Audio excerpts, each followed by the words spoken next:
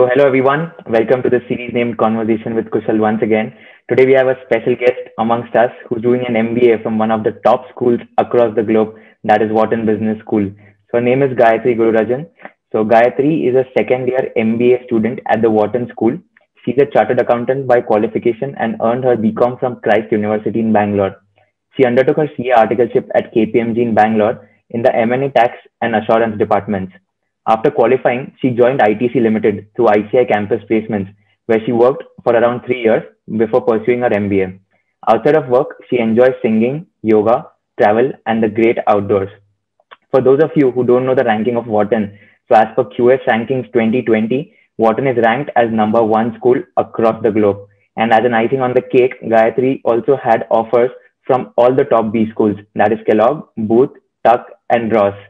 So thank you so much, Gayathri, for accepting my invitation. It's really an honor for me to interact with a person like you. Oh, thank you so much for inviting me here. I think your initiative is fantastic. You're looking to positively influence so many young uh, students. So congrats on that. And I am equally humbled and honored to be here. Thank you so much. So Gayathri, you know, let's uh, discuss your entire CA journey first. Then we would just jump down to your ITC limited experience. Then let's move on to your MBA plans. Why did you opt for MBA? And then finally, we would just briefly discuss about your post MBA plans. This would be the flow of our session. Sounds good? Sounds fantastic.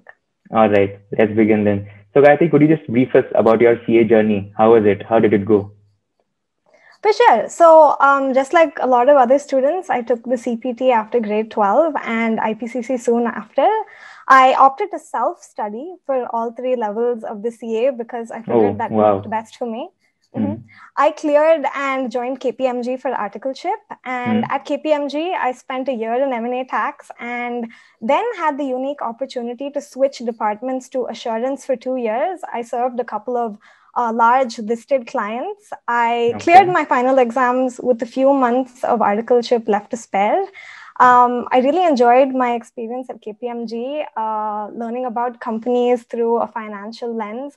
I had great partners, managers, and team members, but I wanted to learn more about how businesses operate on the ground and felt that industry exposure could be valuable. So, a few of my colleagues encouraged me to attend the ICAI campus placements, and I decided to interview with one company, ITC, mm. and managed to get selected and joined. Okay, that's awesome. So, when did you clear your CA finals? Which attempt? I cleared in November 2015. Okay. So I am old. all right, all right. so then you applied uh, in ITC Limited and you got into ITC Limited. So let's discuss yep. your work profile. So how was your work profile in ITC Limited and how was your overall experience there for three years?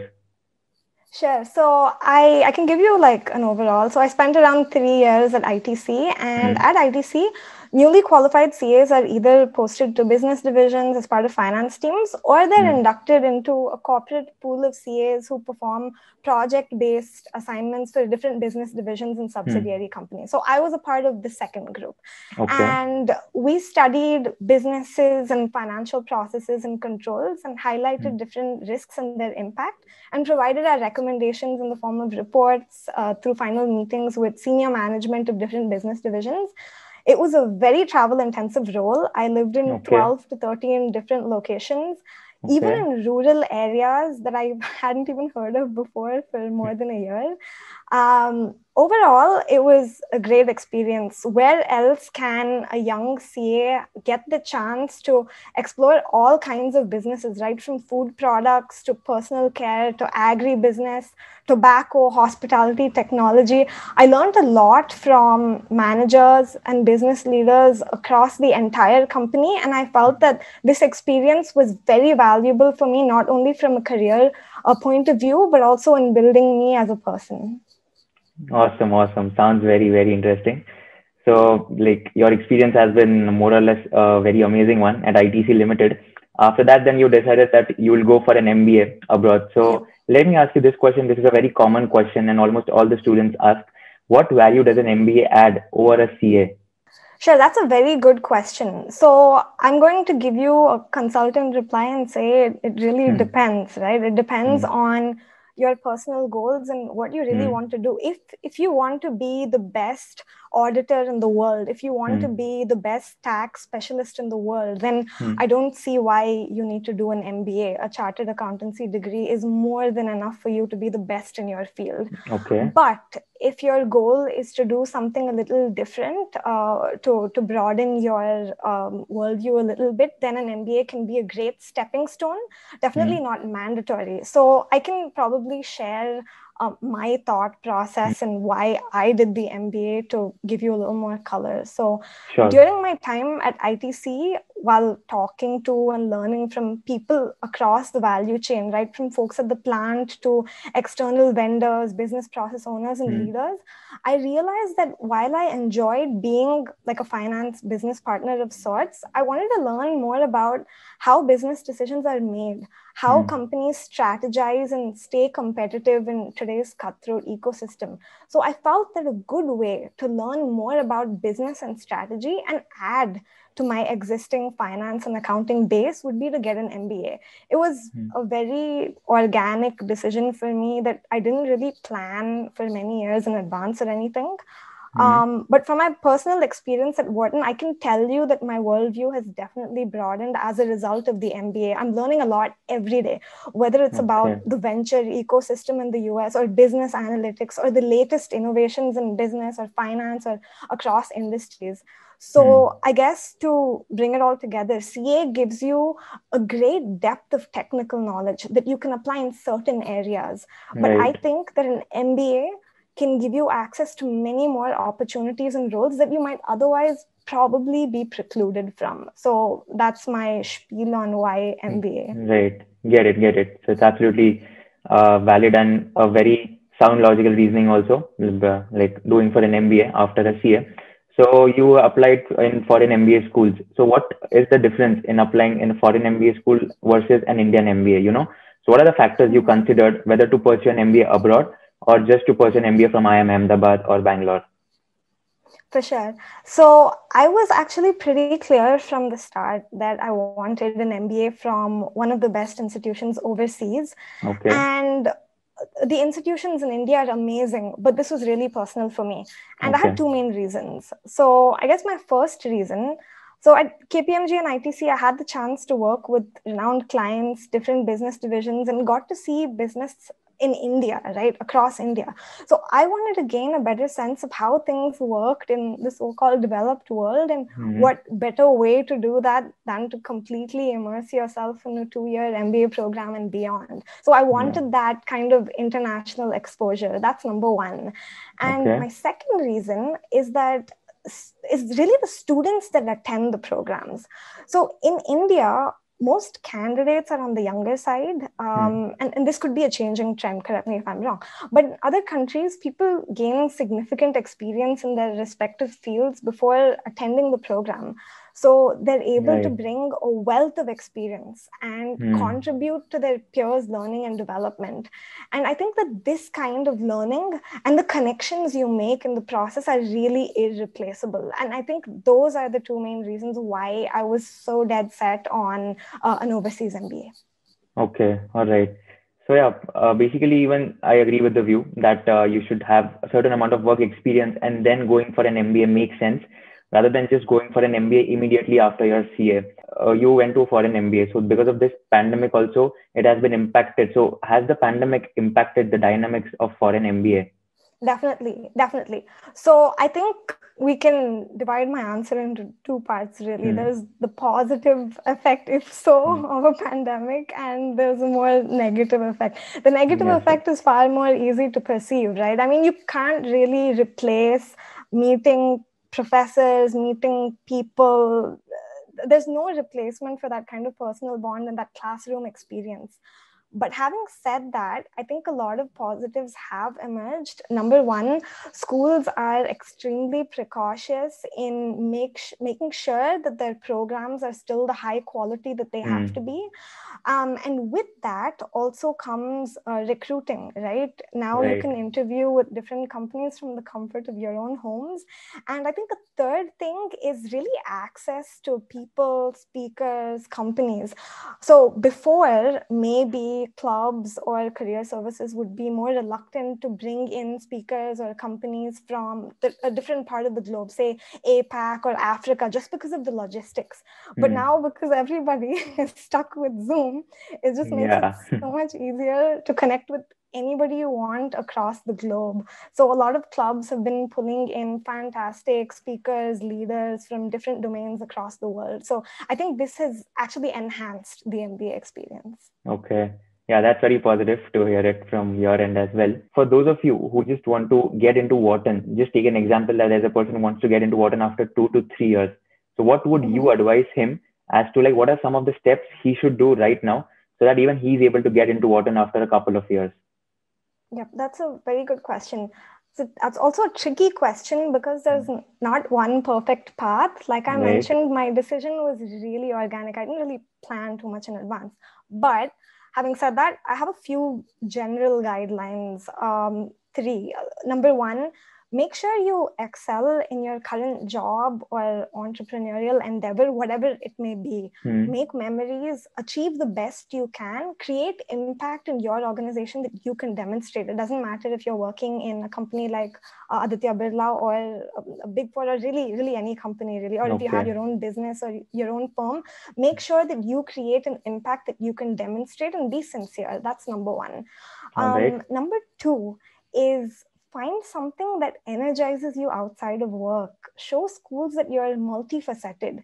This could be anything really. This could be social impact um, mm. philanthropy a hobby or even exploring your adventurous side. Um, just find that something and show that you're a colorful person and you're not just like a one trick pony and right. third is know why you want an MBA and have some kind of an idea of how it'll lend to your personal journey and career.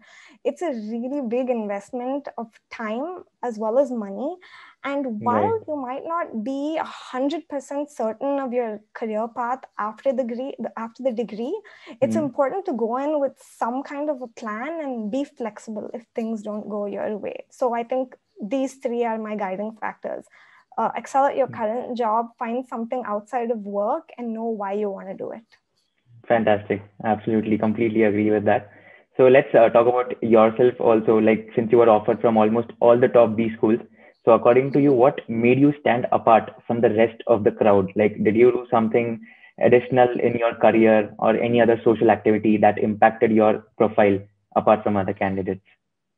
Yeah, um, so I think the admissions committees would be better people to ask, but uh, in my personal opinion, I think that I have a pretty solid profile overall. I've got all the basics like good academics, work hmm. experience, mm. demonstrating leadership, passions outside of academics. But again, um, I want to underline the fact that I knew why I wanted the MBA and what I wanted to get out of it. So I'm mm. sure that that came through in, in my communication, whether in my essays or in my interviews.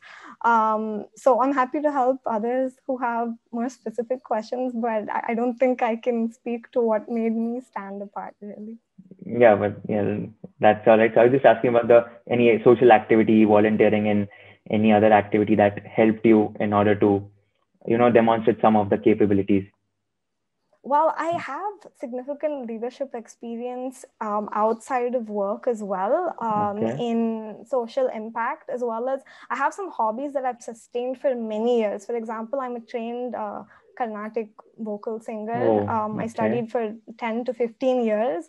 I really enjoy music. So it's just these small things, right? Yeah, that you it. really, right? That you demonstrate that you have and you have these passions and you're able to keep them going despite your hectic academics or work schedule, right. etc. Show that Absolutely. you're a person, like a real person. Be yourself. Absolutely. Get it completely. So then you gave your GMAT, you prepared for your GMAT, and you also got a very good score of 750, right? 750 on 800. Mm-hmm. Yeah. So how did you prepare for your GMAT if you just were to guide the students? For sure. So a lot of people score more than that, but yes, I do consider 750 a pretty good score. So um, I had a like I mentioned before, I had a very, very travel intensive job. I lived out of a suitcase. So it was definitely a challenge that I had to plan around smartly. So the first time I took the GMAT, I was actually staffed on a project in a rural location in coastal Andhra Pradesh, oh, and internet okay. and network were horrible. So I resorted to studying from books and I really underestimated the importance of like live practice tests. Hmm. I got a score that I wasn't very proud of. So I hmm. decided to wait till that project was over and take the GMAT again. Um, the next time, I was luckily staffed on a project in a city hmm. and I would work till past midnight every day. So I tried to take out at least one hour every morning uh, at around 6 6:30 a.m. before work to study. And I did this for a few weeks, and of course, spent my Sundays studying as well. I, I didn't have much of a life. Um, and finally, I managed to get a score that I felt better represented my abilities. Absolutely, get it. So after your GMAT, then you would have like uh, prepared for your essays, SOPs, then letter of recommendations. So since even letter of recommendations are an important part, you know, like we CAs, we should approach which kind of people. So whom should we approach so that our letter of recommendations would be good enough to get us into one of the top B schools? You could share your example. For sure. So uh, you're absolutely right letters of recommendation are definitely a critical component of your application. Um, I wouldn't say that the principles differ uh, significantly between CA applicants and non CA applicants, mm-hmm. but as a guiding principle, it's good to pick someone from your organization mm-hmm. with whom you've worked with, with closely. So okay. they know you, they know your strengths as well as your areas for development and can hmm. provide mm. a really honest assessment. And this is mm. more important than seniority or any other factor. So in my personal case, um, I had two recommenders, one mm. from KPMG and one from ITC. Um, mm-hmm. At KPMG, I approached one of my directors, who's now a partner in the assurance practice. He was very kind to recommend me to all the schools I applied to. Okay. And from ITC, I also got help from a pretty senior executive who had seen my work in a few critical engagements. So he mm. knew me, he knew my work ethic, and he was able to not only tell me what my strengths were, but was really honest about where I lacked. And that's hmm. important mm. to schools, a realistic point of view so he was very gracious and he accepted my request for help. So, to any other applicant who's a CA who's looking to apply, definitely mm. look for uh, people you've worked with closely. Doesn't have to be the most senior person in the company, but people that know you uh, right. from your professional experience. Yeah, so it's just a myth that if we get LOR from some senior people, then you would get into business school. That's just a myth, right? That's okay. a myth. Yeah, thanks, thanks for clarifying this as well. So, what is the average work experience at Wharton, uh, which is required, hmm. like if you are an MBA candidate? Okay, so that's also another good question. So, in a lot of the business schools in the US or overseas, you would find that the average class age is a little higher than in India. And okay. this is because people come in with many more years of experience. So, right. I would say the range is pretty wide from three to maybe seven or even 10 years. So, uh, you'll meet classmates who are on the younger side as well as those who bring in a lot of experience and have achieved a lot at the middle management or even a higher level in their in whatever domain they might be i have classmates who are even army veterans who've served mm. for 7 to 10 years and who are learning with me so it's an incredible honor and privilege to study as well as collaborate with with all kinds of people people who Absolutely. are young and who are extremely sharp as well as people who are just so accomplished absolutely so does our articleship experience even that gets uh, counted in the overall work experience or that's excluded that's very ambiguous mm-hmm. because um, colleges don't necessarily have uh, the clearest guidelines up front. This is something that you okay. can discuss with uh, admissions committees.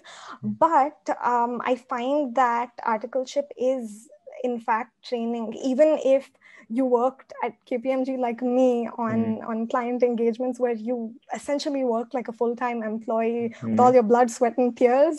At the end of the day, it is technically um, experience earned towards uh, getting your charter, right?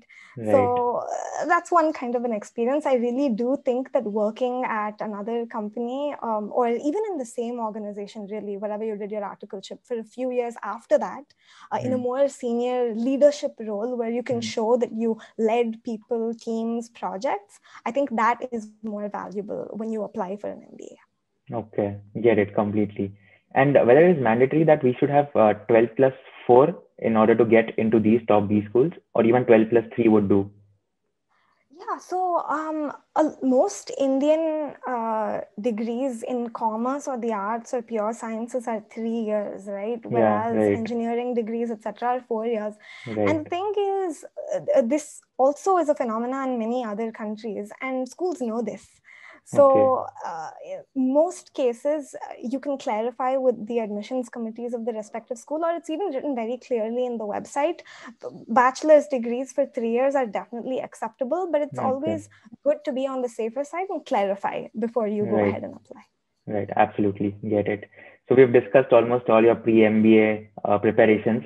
Now, let's discuss your MBA experience at the Wharton Business School. So, what sets Wharton apart from other institutes in terms of academics as well as non academics? You can also state your overall experience.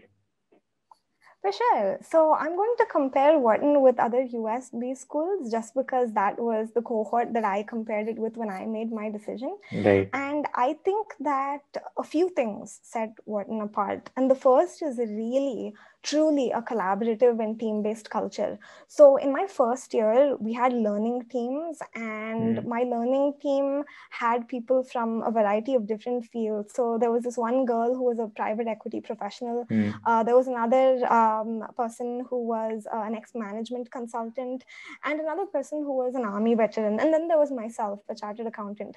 So, these learning teams have very people with very diverse backgrounds put together, different nationalities.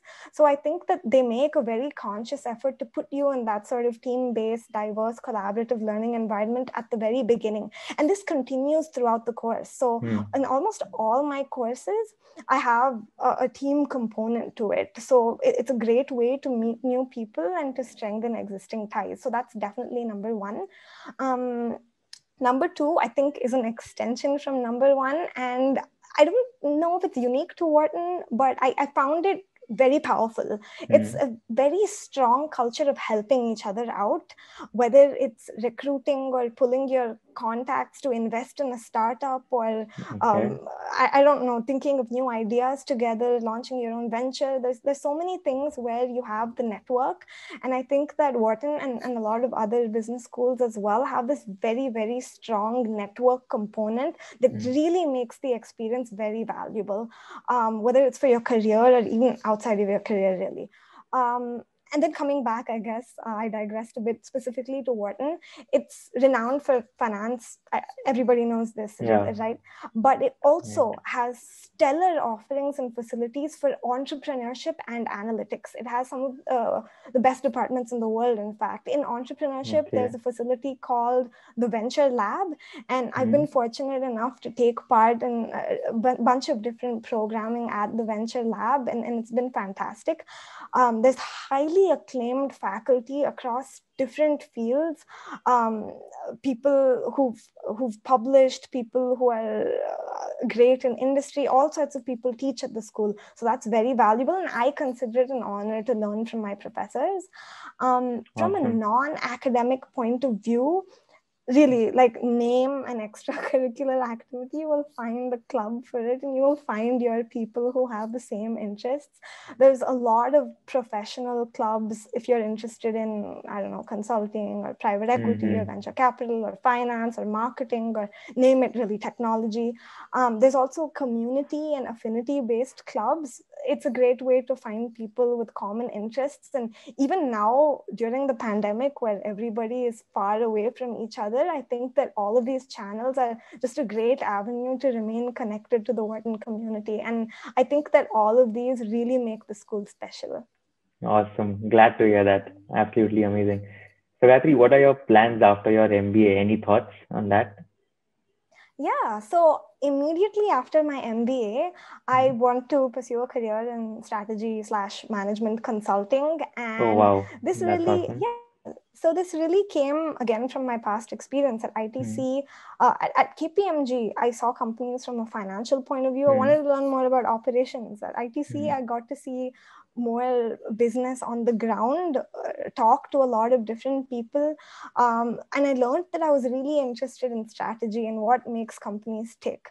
So I think that all of this plus my MBA experience has really uh, sort of very naturally pointed me towards the direction of working in management consulting post my MBA. And I think I'm going to spend some time there, see how it goes, and then decide what I want to do after. Career paths are fluid. Yeah, sounds valid as well.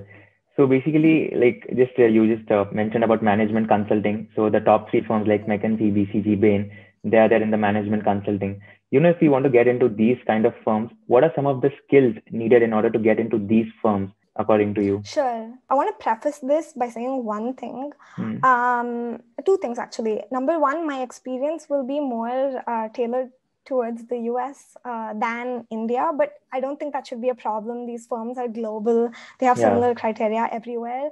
And the second Absolutely. thing I want to say is I actually didn't really know much about these firms until I joined ITC. So okay. it was a very long learning journey. Um, I was pretty relaxed during my CA and took things as they came. Hmm. But um, I think that talking to people and learning more really helped me discover these firms and realize that they aligned with what I wanted to do with my career. So having said that, um, two things that I think that CAs can develop if they want to uh, excel or get their foot in the door essentially. Number one, CAs are brilliant at granular thinking, mm. very detailed oriented, very technical. But one skill that you want to work on consciously is a more big picture kind of thinking, understand the impact of decisions on companies, economies at large. That's something that sometimes some people struggle with. So you might want to learn how to practice that more consciously. That's number one. Number okay. two is, uh, and I'm, I'm sure you've heard this before, is presence and communication.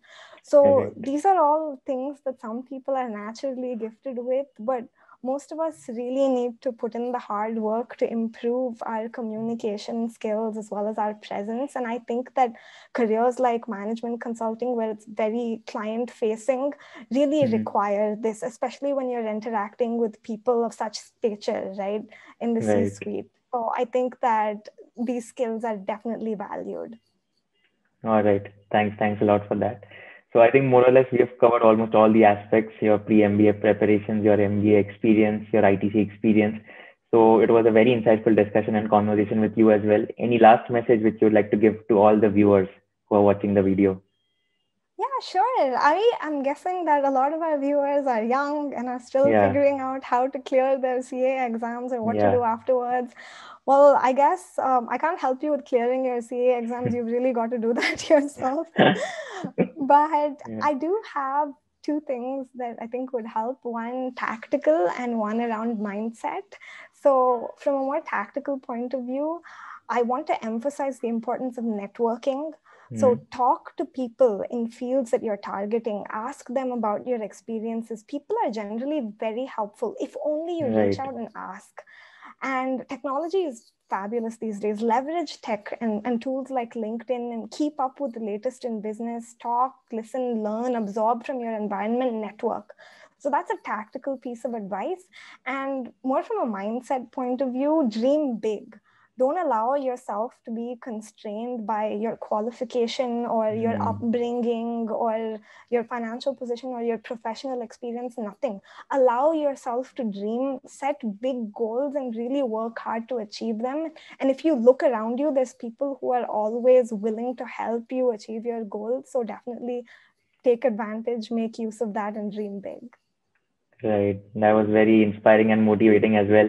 Thanks for such wonderful pieces of advice so thanks a lot, Gayathri, for coming up on the show. It was indeed a very, very nice experience for me as well to have a conversation with you. And personally, I've also benefited a lot because of all the insights which you just gave. So thank you so much for coming up on the show and indeed all the best for your future endeavors. No doubt like you're going to go way ahead in your future. Thanks a lot, Kushal. It was very nice of you to have me here again, and I'm very glad if I'm able to be even a little bit useful to you or any of our viewers. Again, like I mentioned, I'm really humbled and it was an honor, and all the best to everybody, to you, viewers, everyone. Thanks. Thank you so much.